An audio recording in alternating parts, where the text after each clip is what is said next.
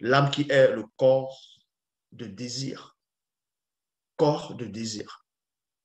Dans Proverbe, chapitre 19, au verset 15, il est dit ici, vous devez comprendre que l'âme se nourrit du désir. L'âme se nourrit de la convoitise. Et oui, l'âme se nourrit de la convoitise. On va vous révéler ces choses.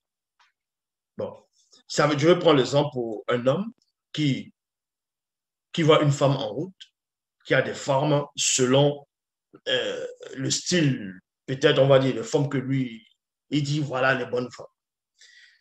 Il va voir une femme qui passe en route, elle a des formes, lui il regarde. Vous voyez, il va d'abord, il regarde les formes, il a maintenant un appétit sexuel. Écoutez attentivement, très attention, très attentivement. Quand il va observer une femme, il va dire waouh. Donc, c'est l'âme maintenant qui, voit à travers les yeux du visible. Moi, je parle bien de l'âme ici, hein, parce qu'il y a aussi la conscience du corps à part, il y a la conscience de l'âme, il y a la conscience de l'esprit. Donc, dans le cas de l'âme, l'âme va, va ressentir euh, le désir pour le corps qui est de l'autre côté. Mais vu que l'âme ne peut pas toucher ce corps physiquement, l'âme va se nourrir. L'âme a la capacité de se nourrir du désir et de transformer sa guise. On va vous expliquer. Ça veut dire que l'âme, vu que c'est un corps de désir, va voir une femme qui passe en route, les formes ainsi de suite. Il y aura des pensées, les, sentiments de l'âme vont monter. L'âme va voir des choses sur cette personne-là. Et ces choses vont se matérialiser sous forme de pensée dans la conscience de l'âme semi-conscience de l'âme et semi-conscience du visible. Ouais. C'est comme ça que naissent les rêves. Donc, quand l'âme va voir à travers les yeux, les yeux vont accepter, vont dire wow. Et c'est là maintenant, il y aura des pensées qui vont venir dans la tête. L'âme va avoir quelle pensée? L'âme va imaginer le visage de la fille, de la femme, alors que la femme, il voit juste du dos. Mais lui, il va s'imaginer le visage de cette femme. Il va imaginer cette femme sans ses vêtements. Il va imaginer comment il a des rapports sexuels avec cette femme. Il va s'imaginer avec toute forme de position. Bref, comment la femme est en train de lui parler. Il va s'imaginer cela. Son, désir se manifeste sous forme de pensée. Et plus ça se manifeste, plus le corps est converti. C'est-à-dire que l'âme convainc son propre corps. Et son corps maintenant ressent le désir. Et cela vous sentez une nouvelle, une température qui se lève sur votre corps. Est-ce vous comprenez? Maintenant, votre corps maintenant veut aller toucher ce corps-là physiquement. C'est comme ça. Parce que l'âme a déjà mangé. Quand il dit manger, l'âme, le désir de l'âme, ben, les plaisirs de l'âme, c'est quoi? C'est la convoitise. Et le désir, l'âme désire cela par les yeux. Et les yeux ont ses propres consciences. Ça veut dire, tu peux marcher, tu regardes juste quelqu'un de loin, à une fraction de seconde, ton œil, par la conscience de l'âme, a capté cela. Brap Comme un appareil photo. En une fraction de seconde, ça a capté cette image-là. Et dans cette image, l'âme transforme maintenant cette image commence à donner un scénario à cette image. Et votre corps ressent cela. Votre corps commence à subir. Et là, c'est le désir maintenant. C'est comme ça. C'est ça l'âme. Parce que l'âme, c'est un enfant. L'enfant, c'est ça. Vous allez dans un magasin, l'enfant est toujours en train de vouloir regarder les jouets, les bonbons, en train de désirer, désirer, désirer. C'est comme ça. C'est ça l'âme. L'âme, c'est un enfant qui grandit qui devient adulte, même si en devenant adulte, le corps sera toujours là, son esprit est toujours là. Donc, on vous apprend ici, dans Proverbe chapitre 19 au verset 15, le paresseux fait entrer.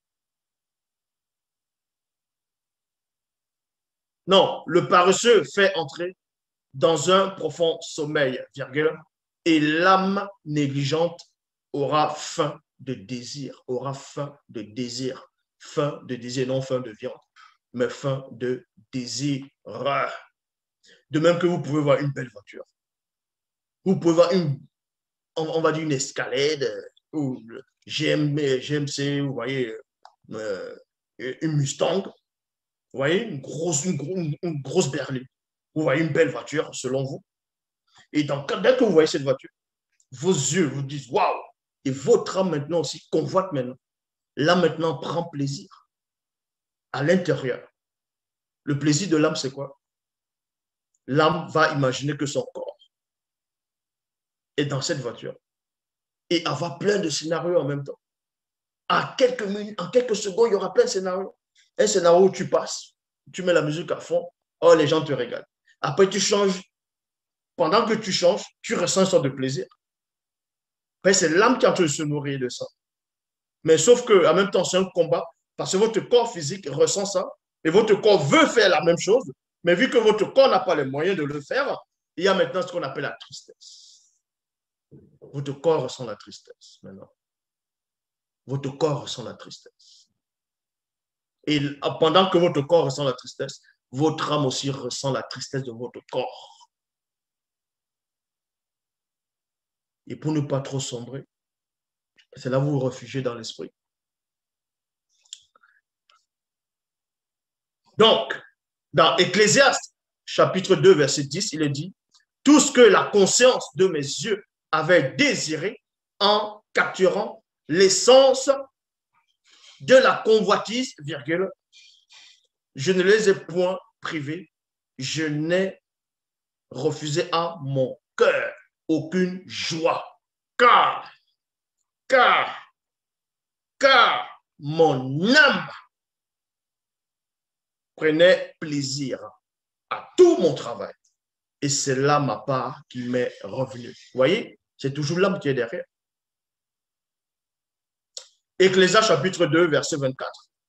Il y a de bonheur pour l'homme connu qu'à manger et à boire et à faire jouir son âme du bien-être, virgule, au milieu de son travail en obéissant, non, dans l'obéissance du verbe de l'Oba. Mais j'ai vu que cela aussi vient de la manifestation de la grâce de l'Oba. Donc, ça veut dire quoi? Admettons, vous avez réussi socialement, vous avez peut-être une belle maison, vous avez une grande maison ou un appartement, vous êtes là, vous êtes bien, vous regardez une grosse télé, vous êtes content. Là, vous êtes à l'aise. L'âme prend plaisir à ça. L'âme va prendre plaisir. Pourquoi? Non pas que l'âme aime la télé ou l'âme aime. L'âme se nourrit du désir du plaisir de ce qui est, est jouissif. Est-ce que vous comprenez? Donc, quand votre corps sera bien, vous êtes content, vous sapez la télé, vous buvez, vous mangez, vous, êtes, vous êtes content. Ce plaisir de la chair, ce plaisir émotionnel, l'âme va prendre ça, va se réjouir. C'est pour ça qu'on dit, ah, l'homme là, il est heureux. Donc, vous voyez, vous êtes bien à l'intérieur de vous, vous êtes à l'aise. Parce que l'âme se nourrit aussi de ça. L'âme se nourrit de ça. C'est de ça dont Ecclésiaste fait allusion ici. Il y a de bonheur pour l'homme, c'est-à-dire l'homme physique, d'abord, connu, qu'à manger et à boire. Ce n'est pas l'esprit ou l'âme qui va manger de la viande ou du poisson braisé ou du soya. C'est le corps physique. Donc, il y a de bonheur pour l'homme connu qu'à manger et à boire. Et à faire jouir son âme la jouissance ici, c'est quoi? C'est le plaisir que le corps physique ressent. Au milieu de son travail. Le travail de quoi? Le travail que tu as fait et puis tu as eu ce que tu as, eu. Maintenant, dans Ecclésiaste, chapitre 4, au verset 8, il est dit, pour qui est donc, pour qui donc est-ce que je travaille, virgule, et que je prive mon âme des jouissances Point d'interrogation. Vous voyez, toujours le travail physique, et ensuite maintenant la jouissance et émotionnelle, euh, ainsi de suite. Et l'âme est derrière. Dans Ecclésias chapitre 5, au verset 5, il est dit, ne permets pas aux démons de circonstances de faire pécher ta chair, ta chair, pas à la porte d'entrée de ton âme, issue de leur influence sur tes yeux. Mission. Ecclésias chapitre 6 au verset 2, il est dit, et y a tel homme du peuple originel à qui le verbe de l'Oba à donner des richesses, des biens et de la gloire. Et qui ne manque pour son âme de rien de ce qu'il désire, mais que plus tard, à cause de sa faute, il perd tout ce qu'il a, et c'est un blanc ou un sang mêlé qui en jouira. Là, c'est une vanité et un mal grave. C'est comme si vous êtes là, vous avez des terrains, vous avez euh, une maison, un riche vient, avec la complicité des, chefs corrompus, ils, prennent vos biens. Vous ne pouvez pas vous défendre parce qu'ils sont soit nombreux, soit très puissants. Mais physiquement, vous êtes atteint. Et émotionnellement, votre âme entre dans, un chagrin parce qu'on a dépouillé euh, euh, le plaisir, l'objet qui produisait le plaisir à votre âme par votre corps physique. Dans Cantique des Cantiques, donc quand on dit l'âme aussi, c'est un corps de désir. L'âme désire beaucoup de choses en même temps, que ce soit des mauvaises et des bonnes choses. En fait, le but de l'âme, c'est quoi? C'est d'être heureux. Donc, c'est comme un junkie. Lui, il a besoin de sa dose. Parce qu'il veut entrer dans un état second où pour lui, il va être heureux aussi. Donc, quand il prend sa dose, parce qu'il veut être, il va entrer dans un état où il a l'aise. L'âme, c'est ce que l'âme cherche. C'est comme des enfants. Un enfant, les enfants qui le tête en l'air, ils font toujours pareil. Un enfant est toujours en train de vouloir chercher un truc pour satisfaire son propre désir. Donc, pour être à l'aise, pour être heureux. Mais sans suivre de fois les consignes ou les préceptes, les ordonnances.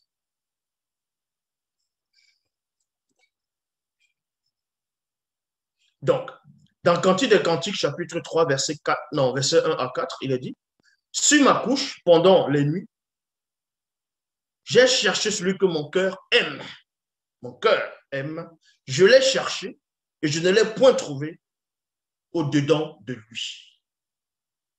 Alors, hors de mon corps physique, je suis entré dans l'astral. Vous voyez?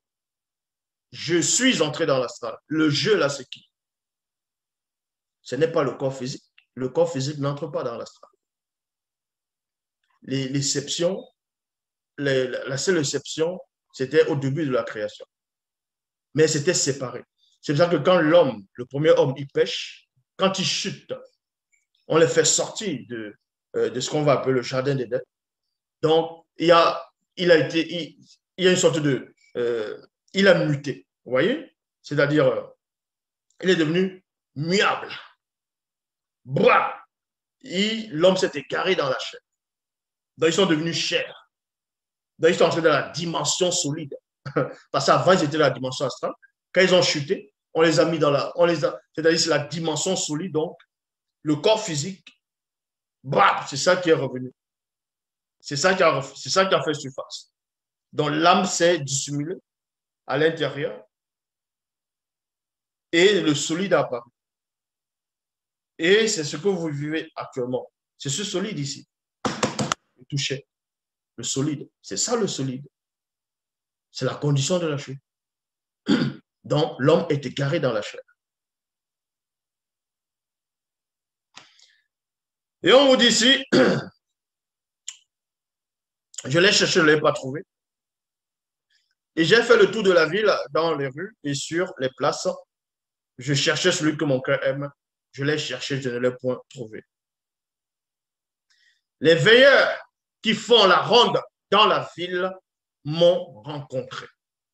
Avez-vous vu l'âme de celui que mon cœur aime? Point d'interrogation.